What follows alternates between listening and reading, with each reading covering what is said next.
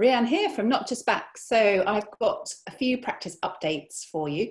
Got some exciting news. Uh, we have been given the green light uh, by the Old Orchard Surgery at Wilton to go back in and practice from there again. So Rebecca Memmott, one of our osteopaths in Exeter Street, is going to do a Thursday in Wilton.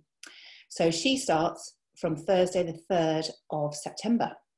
You can make appointments via our receptionists who are based in Salisbury and Tisbury. They both answer the phone, so um, if they phone you back, it might be a Shaftesbury number. Um, so the procedure for there is exactly the same as any of our other practices. You turn up on time, don't come too early because you have to wait outside. Um, there's, a, there's a window where you announce yourself at, to the receptionist at the GP surgery um, and then they will say to wait by the door. Rebecca will come and meet you at the door then. She will then ask you some pre screen questions again and take your temperature and then lead you into the practice room.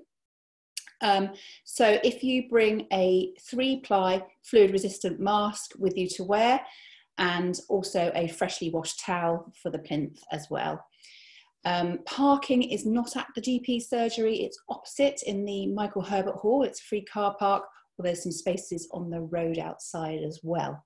So uh, that's great news, and Rebecca will look forward to seeing our Wilton and surrounding villages patients there. So that's great. The other thing I want to tell you is that um, we have a new osteopath starting in Exeter Street as well in September. His name is Vitor Da Costa. Now, he's an English trained osteopath from the European School of Osteopathy. He uh, trained at the same place that um, Tom Kilner trained at. And uh, he is Portuguese. And uh, we have had many European osteopaths over the years, if you remember Steph and Maran and Anne Law. Um, so hopefully he'll be as lovely as all of those. Um, so this does mean a few little changes to our reception hours as well. Um, so because Vitor is coming in, we don't have, uh, Tom and I particularly, don't work between two rooms, Tuesday, Wednesday, Thursday now. So we have a room each. This means that your osteopath will be meeting you at the door. So the receptionist won't be coming to the door to greet you anymore on those days. Um, so please turn up on time because there is nowhere to sit. Before the receptionist was opening the door and letting you sit in the treatment room waiting for us, but that can't happen anymore. So turn up on time, your osteopath will open the door for you and let you in.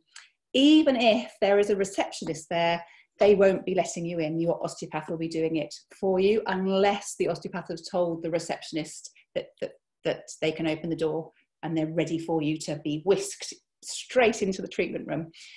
Um, so our receptionists will be then making appointments for you as you come out when they are there. So um, there'll be certain days that you won't see a receptionist in Salisbury. Um, they are going to be pre-screening um, when they are there. So that's our news and our practice updates um, in this ever-changing world. But hopefully there won't be huge amount of change over the winter We'll still probably have to ventilate our rooms, so it means that our appointment times are longer, um, and all the cleaning that we have to do in the floor, etc.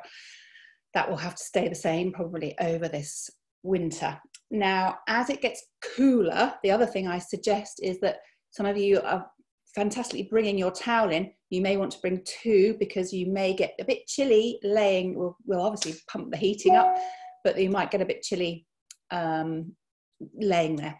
And obviously, we can get clothes on you as well while you're treating. But some, for some, it's harder to treat you with clothes on than others, depending on the area that's the problem. So, so think about two towels as it gets cooler. So there are my little updates. Um, look forward to seeing you soon. You take care, everybody. Cheerio.